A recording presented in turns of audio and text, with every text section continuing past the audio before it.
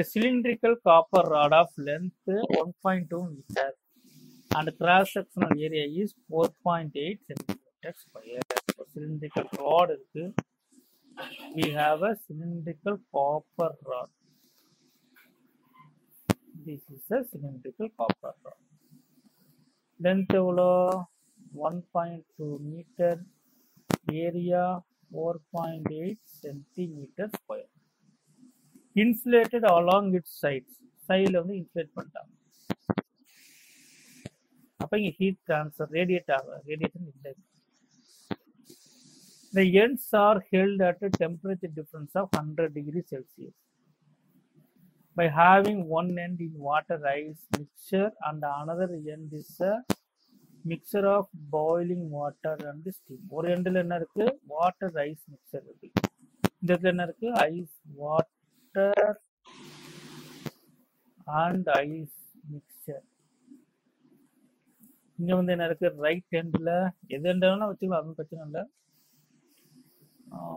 Mixture of boiling water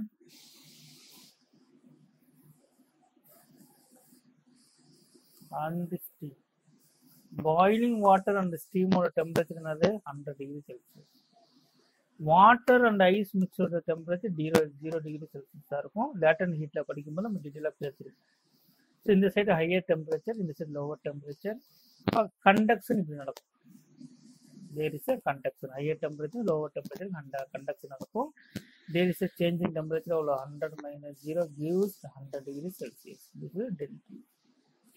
we need to find what is the energy conducted by the rod what is the energy conducted by the rod q by t is equal to con- thermal conductivity of the rod area of the rod del t del t means 100 degree celsius divided by length of the rod is 1.2. This is a copper. So thermal conductivity for the copper 401 watt per, per meter Kelvin. So 401 area of the copper is 4.8 centimeter square converted into meter square. And the temperature is இது வந்து kelvin தான் difference எடுக்கும்போது உங்களுக்கு zero kelvin தான் வரும். ஏன்னா because four naught one in terms of Kelvin இருக்குன்னா இதையும் நம்ம கெல்வின் தான் வைக்கணும். டிவைடு பை ஒன் பாயிண்ட் இது கேன்சல் பண்ணீங்கன்னா four four hundred four hundred four naught one four zero sixteen four hundred four naught one double zero one six zero four double zero into ten power minus four one two three four அப்போ sixteen point zero four juice by second this is a conduction rate by this rod okay அவன் டஸ் த ice மெல்ட்னு கேட்குறான் melt ஆகுமா melt ஆகுற rate எவ்வளோ okay we know that there is there latent heat involve water and ice மிக்சரில் latent ஹீட்டுக்கு என்னது heat transfer rate சீக்கிரம் என்னது heat equal to M into latent heat of fusion வச்சுருக்கோம்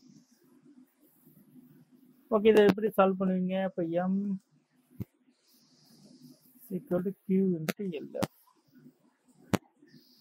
so the melting rate we need to find the melting rate with respect to time so dm by dt is equal to differences with respect to time my q என்ன பண்ணலாம் dq by dt into uh, lf sorry for the mistake m is equal to என்னது q by lf நான் தான் mistake பண்ணிட்டேன் இப்போ melting ஆகுது ஐஸும் water மிக்சர்னா மெல்டிங் ஆகணும் ஃபியூஸ் ஆகணும். அப்போ உங்களுக்கு தெரியும். Zero degree Celsius ஐஸ்லேருந்து zero degree Celsius water ice கம்ப்ளீட்டாக வாட்டர் ஆகிற வரைக்கும் டெம்பரேச்சர் ரைஸ் ஆகுது. இதுக்குள்ள மிக்சரில் இருக்கு. கம்ப்ளீட்டாக வாட்டர் ஆகும்போது உங்களுக்கு வந்து லேட்டன் ஹீட்டிங் வந்துடும் energy stored in the system so உங்களுக்கு வந்து என்ன ஆகுது? Mass d melting d mass okay dm by dt rate of change of mass with respect to time is equal to heat transfer with respect to time கியூவை differentiate பண்ணிட்டேன் one by LF dq by dt is given already நம்ம கண்டுபிடிச்சோம் sixteen point zero four நான் sixteen வச்சுக்கிறேன் LF latent heat for fusion இது joules by second இந்த answer வந்து உங்களுக்கு தெரியும் த்ரீ தேர்ட்டி த்ரீ ஜூஸ் பை கிராம் நான் ஜூஸ் பை கிராமில் வச்சுருக்கேன். இதை ஷார்ட் அவுட் பண்ணிங்கன்னா zero point zero four eight grams per second there is melting இந்த மெல்டிங் ரேட் வந்து எவ்வளோ zero point zero four eight grams per second ஒரு செகண்டுக்கு zero point zero four eight gram வந்து மெல்ட் ஆகிட்டு இருக்கு.